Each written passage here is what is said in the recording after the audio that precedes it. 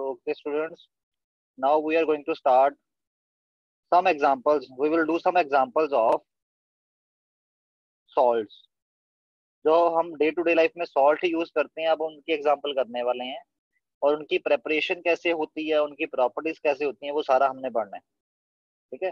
First example आपके पास जो first salt है जो आपने पढ़ना है that is common salt that is NaCl sodium chloride is called as the common salt okay? सबसे पहले production from acid and bases sodium chloride को प्रोड्यूस कैसे किया जाता है? अगर मान लो आपने एसिड बेस्ड हाइड्रेशन से इसको प्रोड्यूस करना हो तो आप कैसे प्रोड्यूस करोगे सोडियम क्लोराइड को? You will take sodium hydroxide and you are going to react this sodium hydroxide with hydrochloric acid these two are going to react and they are going to form sodium chloride and water okay So, this is the first method of production. Okay. अगर आपने acid based titration से NaCl को produce करवाना होगा then you need sodium hydroxide and hydrochloric acid next आपके पास आता है एप्लीकेशंस ऑफ़ सोडियम हाइड्रोक्लोराइड इसकी एप्लीकेशंस क्या क्या हैं? मतलब ये कहाँ कहाँ यूज़ होता है? ठीक है, एक तो खाने में यूज़ होता है। खाने में तो खाने की बात नहीं कर रहे हम। हम एप्लीकेशन में मेजरली बात करेंगे इसकी इंडस्ट्रियल एप्लीकेशन की। कि इंडस्ट्रीज़ में ये कहाँ कहाँ यूज़ होता है?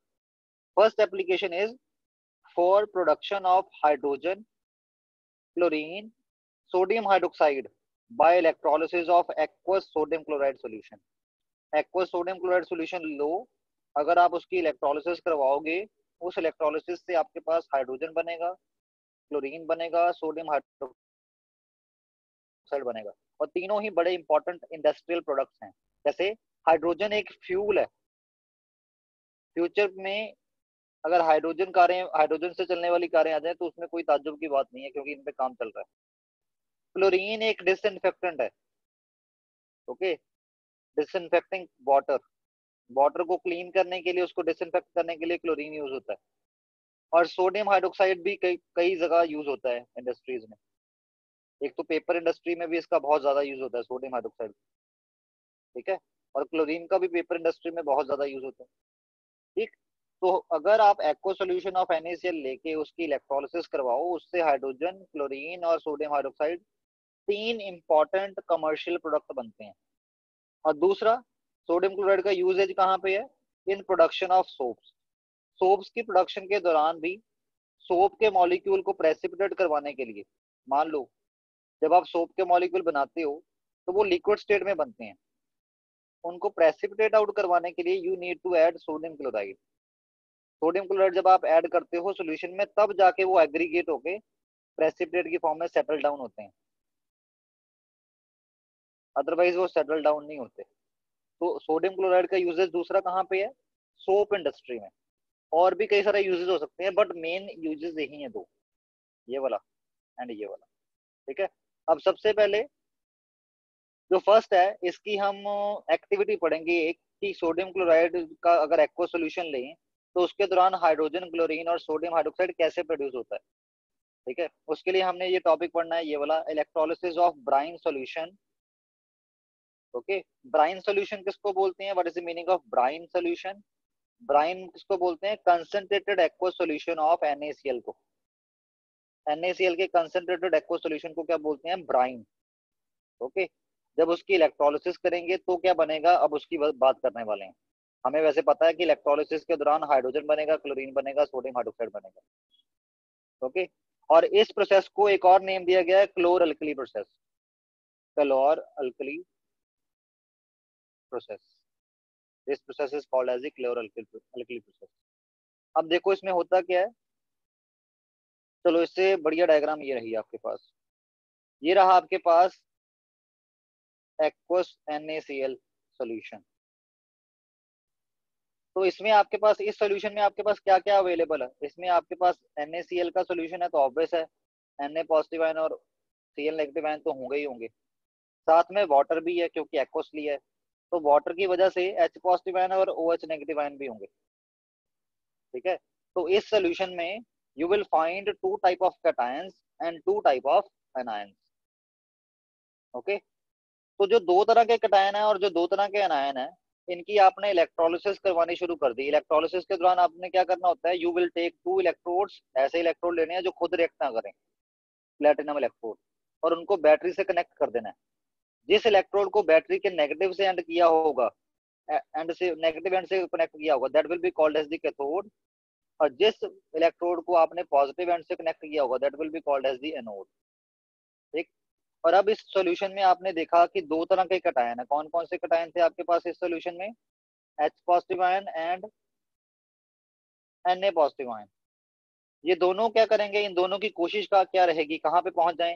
कैथोड। क्योंकि कैथोड क्या होता है? Negative charge similarly C N negative ion और ओ एच नेगेटिव आयन ये दोनों क्या है? आपके पास एन एनायंस इन दोनों की कोशिश क्या होगी कि ये दोनों कहाँ जाना चाहेंगे? They will want to travel to the anode but दोनों जो हैं, दोनों में से जो फास्ट मूव करता है, वही पहुँचता है अपने रिस्पेक्टिव इलेक्ट्रोड पे। जो स्लो मूव करता है, वो पीछे रह जाता है, उसको सोल्यूशन में रहना पड़ता है।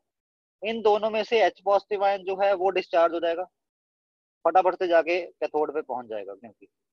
और इन दोनों में से सी एन नेगेटिव आयन जो है, वो डिस्चार्ज हो जाएगा, और वो एनोड पे पहुँच जाएगा।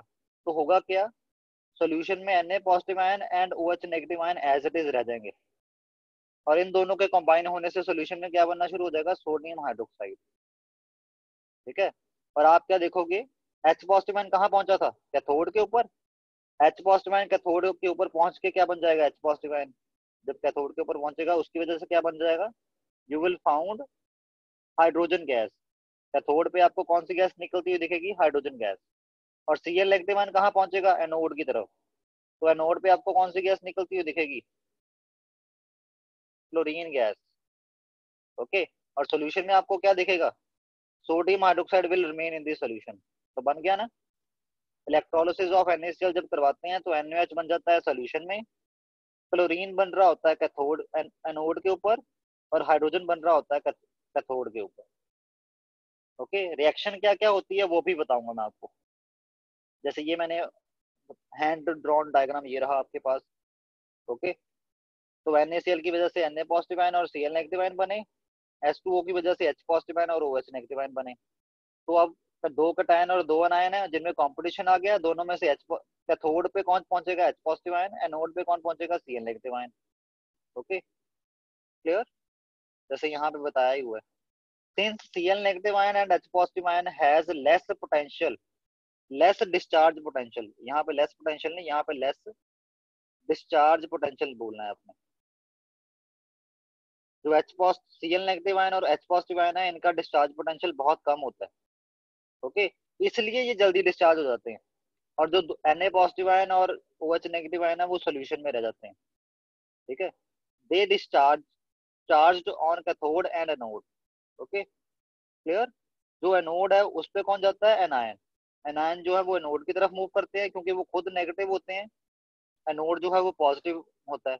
ऑपोजिट अट्रैक्ट आपको पता है कि ऑपोजिट चार्ज जो होते हैं वो अट्रैक्ट करते हैं आपस में। सिमिलरली जो कटायन है वो किसकी तरफ़ भागते हैं? They travel to word cathode क्योंकि वो खुद पॉजिटिव होते हैं। ओके कैथोड पे क्या होगा? एन ए पॉजिटिव आयन और एच पॉजिटिव आयन दोनों कैथोड की तरफ़ भागे but discharge only H positive ion cathode पे डिस्चार्ज कौन होगा? सिर्फ़ और सिर्फ़ एच पॉजिटिव आयन और जो एन ए पॉजिटिव आयन होगा that will remain in the solution और डिस्चार्जिंग कैसे होगी? दो एच पॉजिटिव आयन जब कैथोड पे पहुँचेंगे, पहले तो वो दो एच एटम बन जाएँगे। और हमें पता है हाइड्रोजन अटोमिक स्टेट में स्टेबल नहीं होता। तो दो एच एटम मिलके क्या करते हैं?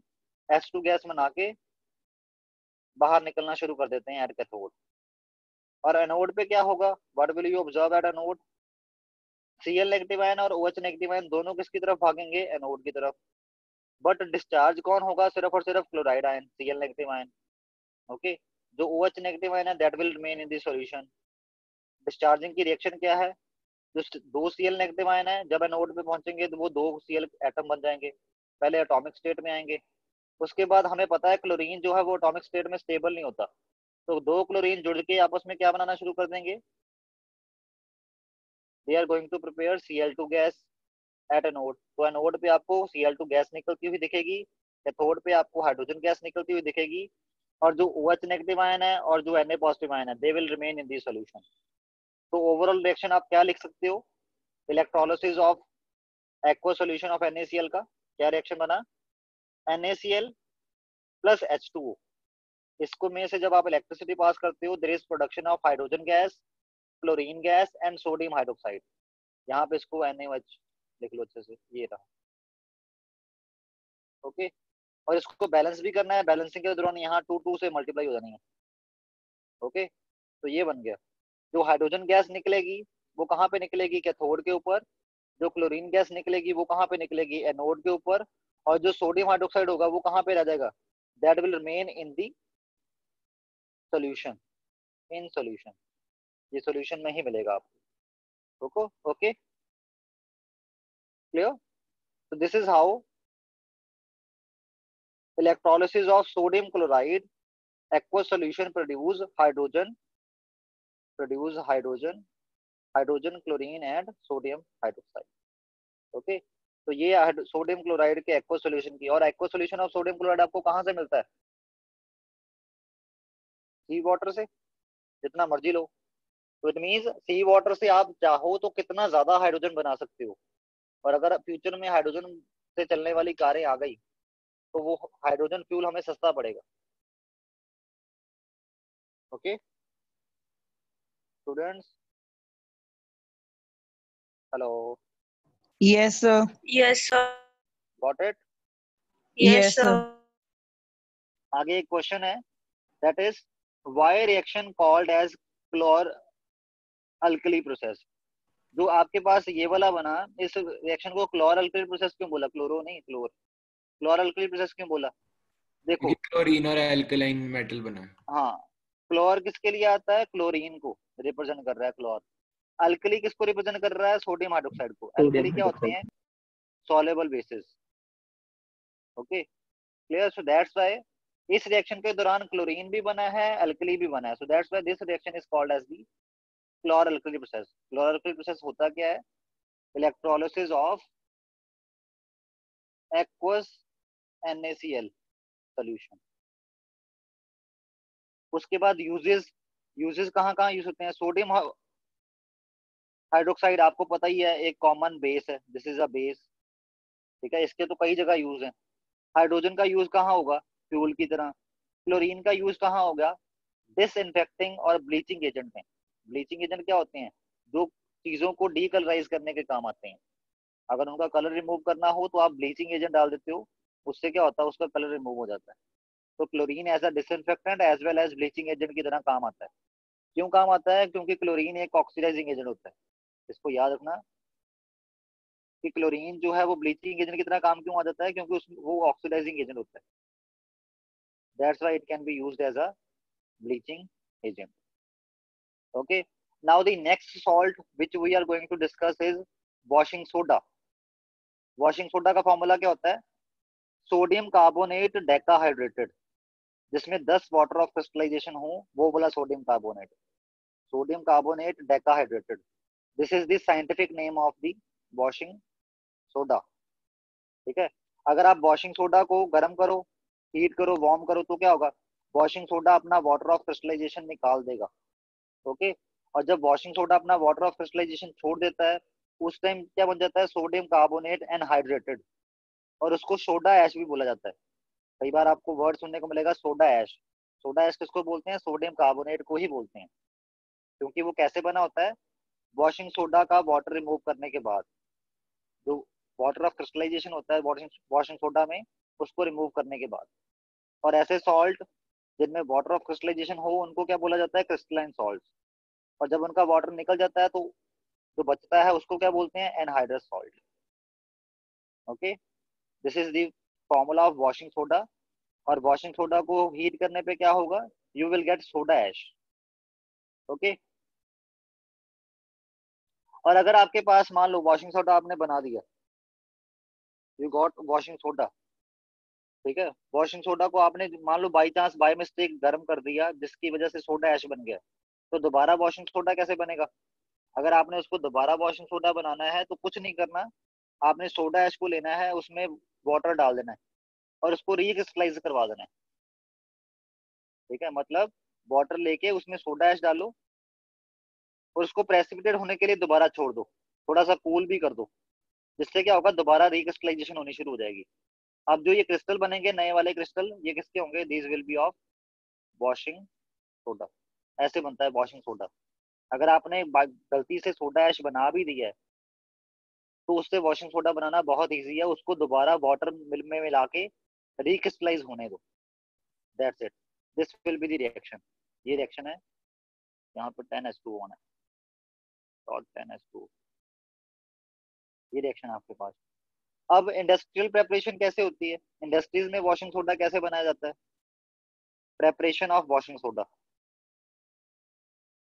step one इसमें कुछ स्टेप इन्वॉल्व होते हैं, उनको हम स्टेप बाय स्टेप करेंगे। फ़र्स्ट स्टेप क्या कहता है? Preparation of sodium bicarbonate washing soda बनाने से पहले आपको सोडियम बाइकार्बोनेट बनाना। सोडियम बाइकार्बोनेट कैसे बनेगा? NaCl plus ammonia plus water plus carbon dioxide इन चारों को मिक्स कर दो। उससे क्या होगा? You will get ammonium sorry sodium hydrogen carbonate और you can say sodium bicarbonate and ammonium chloride ठीक है? और ये जो सोडियम हाइड्रोजन कार्बोनेट है, इसका फर्दर यूज़ करना है। कैसे यूज़ करना है? Convert sodium hydrogen carbonate to sodium carbonate by heating अगर आप सोडियम हाइड्रोजन कार्बोनेट को सोडियम कार्बोनेट में कन्वर्ट करना चाहते हो तो you need to heat it तब ये क्या करता है? ये अपने आप को एनहाइड्रस कर लेता है, अपने में से वाटर लूज करता है और कार्बन डाइऑक्साइड लूज करता है। ठीक है? तो sodium hydrogen carbonate when heated produce sodium carbonate water and carbon dioxide okay अब जब आपके पास सोडियम कार्बोनेट बन गया, जिसको सोडा ऐश भी बोलते हैं, उसको क्या करना है? सोडा एस को वाटर में मिक्स करो, उसको हाइड्रेट कर दो। तो सोडा एस को वाटर में मिक्स किया रिक्रिस्टलाइज करवाया you will get hydrated sodium carbonate which is you which is called as the washing soda इसको क्या बोला जाता है? Washing soda so it means washing soda बनाने के लिए you have three steps. First step is preparation of sodium bicarbonate. उसके बाद सोडियम बाइकार्बोनेट से सोडियम कार्बोनेट उसके बाद सोडियम कार्बोनेट जो बना, उसको हाइड्रेट करना। By adding water and recrystallizing. So, these are the three steps which are involved in the preparation of washing soda. Clear? और washing soda की यूजेज कहाँ पे है? वॉशिंग के लिए। तभी तो उसको वॉशिंग सोडा बोलते हैं। हालाँकि आजकल तो बड़े एडवांस सोप एंड डिटर्जेंट आ गए हैं वॉशिंग के लिए। बट पहले के समय में जो चलता था वॉशिंग के लिए, कपड़े धोने के लिए कौन चलता था? कौन सा सोडा यूज़ होता था? ये वाला। आज भी यूज़ होता है। ठीक है? Clear so that's it is called as the washing soda. Next है बेकिंग सोडा ओके सबसे पहले ये बताओ washing soda is clear to you इसकी प्रेपरेशन क्लियर है? यस सर ओके इसके यूजेज कहाँ कहाँ हो सकता है? एक तो मैंने बता दिया बाकी आपने खुद मेरे को देख के मेरे को बताना है आपने कि कहाँ कहाँ यूज़ है इसका। नेक्स्ट आया बेकिंग सोडा बेकिंग सोडा किसको बोलते हैं? ये तो आपको पता ही है वेल नोन है। सोडियम हाइड्रोजन कार्बोनेट और इसकी प्रेपरेशन इसकी प्रेपरेशन कैसे होती है? इसका तो हम पहले पढ़ चुके हैं। प्रेपरेशन में आप, कैसे होती है इसकी? Ammonia plus NaCl plus water plus carbon dioxide जब इन सभी को मिक्स करते हैं तो क्या बनता है? सोडियम हाइड्रोजन कार्बोनेट और अमोनियम क्लोराइड और ये क्या है? This is the baking soda इसको बेकिंग सोडा क्यों बोलते हैं? क्योंकि ये बेकिंग में यूज़ होता है। ठीक है? बेकिंग में बेकिंग पाउडर में इसका यूज़ किया जाता है। ओके अभी आगे देखते हैं। इसके यूजेस बहुत ज़्यादा इंपॉर्टेंट है। नेक्स्ट आ गया आपके पास topic uses of baking soda सबसे पहला यूज़ क्या है? Act as an antacid antacid की तरह एक्ट करता है. मतलब अगर हमें एसिडिटी हो जाए तो हम बेकिंग सोडा को यूज़ कर सकते हैं एज ए एंटा एसिड जिससे हमें रिलीफ मिलेगी एसिडिटी से. कैसे रिलीफ मिलेगी? हमारे पेट में जो एक्सेस ऑफ़ एचसीएल बन जाएगा, उसको सोडियम हाइड्रोजन कार्बोनेट जाके न्यूट्रलाइज करके salt water and carbon dioxide बना लेगा. ओके सेकेंड एप्लीकेशन क्या है इसकी? In bakery in form of baking powder baking powder में यूज़ होता है ये बेकरीज में। बेकिंग पाउडर एक्चुअल में होता क्या है? Baking powder is the mixture of baking soda and edible acid जब आप कोई एडिबल एसिड एडिबल एसिड किसको बोलते हैं? जिसको हम खा सकें। उसको मिक्स कर देते हो बेकिंग सोडा में then you get baking powder ठीक है? और होता क्या है? जब बेकिंग सोडा और एडिबल एसिड ये दोनों आपस में रिएक्ट करते हैं। एडेबल एसिड कोई भी हो सकता है तो इसलिए मैंने इसको जनरल फॉर्मूला से रिप्रेजेंट किया है। H positive A negative okay तो जब आप बेकिंग पाउडर और एडेबल एसिड को मिक्स करते हो तो मिक्सिंग में क्या बनता है? Salt water and carbon dioxide ये जो कार्बन डाइऑक्साइड निकली, ये बड़ा इंपॉर्टेंट है। क्योंकि इसी की वजह से जो केक्स वगैरह होते हैं, वो फ्लफी बनते हैं। ठीक है? और उनको फ्लफी बनाने के लिए ही बेकिंग पाउडर का यूज़ किया जाता है। और बेकिंग पाउडर होता क्या है? ये याद रखना कि baking powder is a mixture of baking soda and edible acid okay clear edible acid में कौन कौन सा एसिड हो सकता है? ऑक्सैलिक एसिड हो सकता है विनेगर हो सकता है टार्ट्रिक एसिड हो सकता है सिट्रिक एसिड हो सकता है। जो आपके लिए कन्वीनियंट है, वो आप उसको यूज़ कर लो। ओके अब एक आगे क्वेश्चन है। क्वेश्चन में क्या सिचुएशन दी गई है आपके पास? What happens if we use baking soda instead of baking powder in making cakes? मान लो आप घर में केक बना रहे थे। आपने नई नई कुकिंग क्लास ज्वाइन की है। आपने डालना था बेकिंग पाउडर बेकिंग पाउडर क्या होता है? Mixture of baking soda and edible acid but आपने क्या किया? गलती से सिर्फ़ बेकिंग सोडा डाल दी। Baking soda means sodium hydrogen carbonate baking powder में तो सोडियम हाइड्रोजन कार्बोनेट और एसिड का मिक्सचर होता है ना आपने सिर्फ़ बेकिंग सोडा डाला एडिबल एसिड डाला ही नहीं।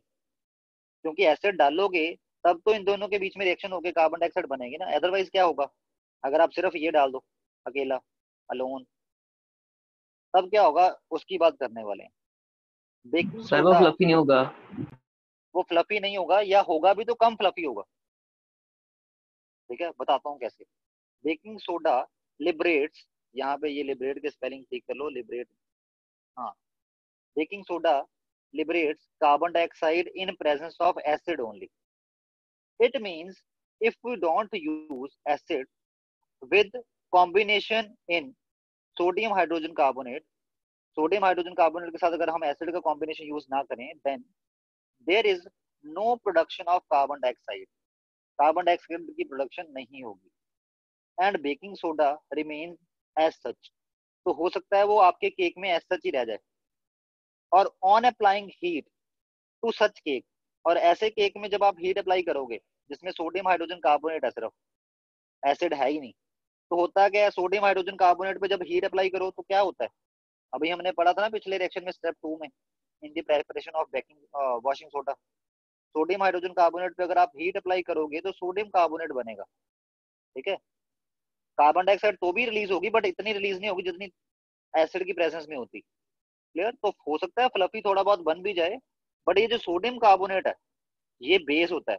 और बेस का टेस्ट कैसा होता है? बिटर तो आपका केक क्या हो जाएगा? बिटर इन टेस्ट ठीक है? Then there is no production of carbon dioxide and baking soda remain as on applying heat to such cake sodium hydrogen carbonate in cake converts into sodium carbonate which is basic in nature heat apply करने पे आपका जो sodium hydrogen carbonate है, वो sodium carbonate में convert हो जाएगा। Okay wait ये रहा। ठीक है? आपका जो सोडियम हाइड्रोजन कार्बोनेट इसको इरेज करने दो। सोडियम हाइड्रोजन कार्बोनेट जो है, वो सोडियम कार्बोनेट में कन्वर्ट हो गया और साथ में उसने हाइड्रोजन और वाटर एंड कार्बन डाइऑक्साइड भी बनाया। क्लियर और जो ये है this makes this will make this makes cake better इसकी वजह से आपका केक जो है वो बेटर इन टेस्ट हो जाएगा। उसका टेस्ट खराब हो जाएगा। ठीक है? और आपकी बेकरी भी बंद हो सकती है। समझ आया जी पहला क्वेश्चन हेलो यस yes और एक बहुत इंपॉर्टेंट एप्लीकेशन और है बेकिंग सोडा बेकिंग सोडा की नहीं? हाँ बेकिंग सोडा की। This is application of baking soda हम एप्लीकेशन पढ़ रहे हैं ना? सोडियम हाइड्रोजन कार्बोनेट की, जिसको बेकिंग सोडा भी बोलते हैं। इसकी ये सबसे इंपॉर्टेंट एप्लीकेशन है। इन सोडा फायर एक्सटिंग्विशर जो लाल कलर के एक्सटिंग्विशर पड़े होते हैं हमारे स्कूल्स में, ठीक है? हॉस्पिटल्स में जो लाल कलर के फायर एक्सटिंग्विशर होते हैं उनमें क्या होता है, उनका बेसिक प्रिंसिपल क्या है, वो समझाने वाला हूँ मैं। ठीक? तो इसके केस में आपके पास क्या होता है? You will have a container ये कंटेनर बड़ा है आपके पास। मान लो एक टेस्ट ट्यूब है, जिसमें आपने H2SO4 डाल के रखा है। इसमें H2SO4 है, इस टेस्ट ट्यूब में। ओके क्लियर और इस इस टेस्ट ट्यूब को ऊपर बांधा बांधा हुआ है टाई किया हुआ है आपने। क्लियर जब आप इस धागे को तोड़ोगे, तब ये H2SO4 इसमें गिरेगा, इस सोल्यूशन में। और ये सोल्यूशन कौन सा है? This solution is of sodium hydrogen carbonate ये नीचे आपने सोडियम हाइड्रोजन कार्बोनेट का सोल्यूशन रख रखा है। ओके क्लियर और आपने एक ये ट्यूब डाल रखी है अंदर। जिस ट्यूब के थ्रू कार्बन डाइऑक्साइड बाहर आएगी, इस ट्यूब के थ्रू कार्बन डाइऑक्साइड बाहर आएगी। क्लियर क्यों बाहर आएगी? अभी मैं बात करता हूँ। मान लो, आपने ये थ्रेड तोड़ दिया।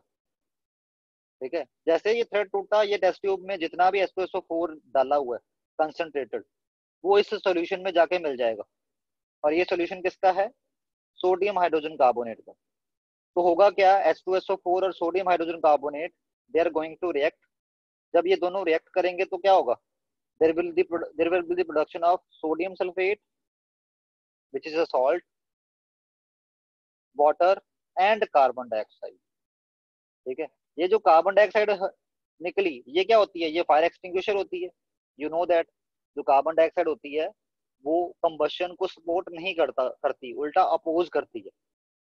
ठीक है? तो इट मीन्स इसलिए आपका जो सोडा फायर एक्सटिंग्विशर होता है, उसमें ऐसा ही प्रिंसिपल यूज़ किया होता है। उसमें एक नॉब लगी होती है, उस नॉब के साथ आप एसिड का सोल्यूशन टाई किया होता है। जैसे आप उस नॉब को पुल करते हो, बाहर निकाल देते हो एसिड जो है वो सोडियम हाइड्रोजन कार्बोनेट के सोल्यूशन में मिक्स हो जाता है, जिसमें एकदम से कार्बन डाइऑक्साइड विद प्रेशर बनती है और वो यहाँ से बाहर आती है। ओके और साथ में लिक्विड भी बाहर आता है, जिससे वो जो चीज़ जो जल रही है ओके वो बुझ जाएगी, जब उसमें कार्बन डाइऑक्साइड डालोगे।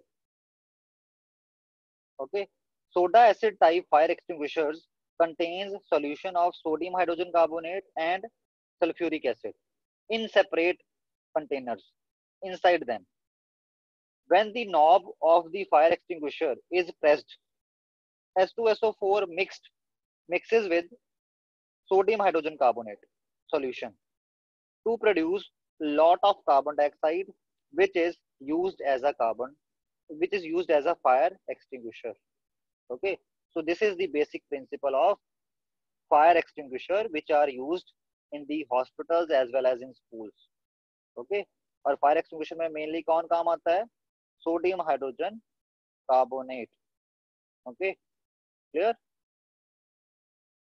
तो नेक्स्ट जो आपके पास है, वो ब्लीचिंग पाउडर है, और एक दो एग्जांपल और रह गए हैं। ब्लीचिंग पाउडर रह गया प्लास्टर ऑफ़ पेरिस रह गया।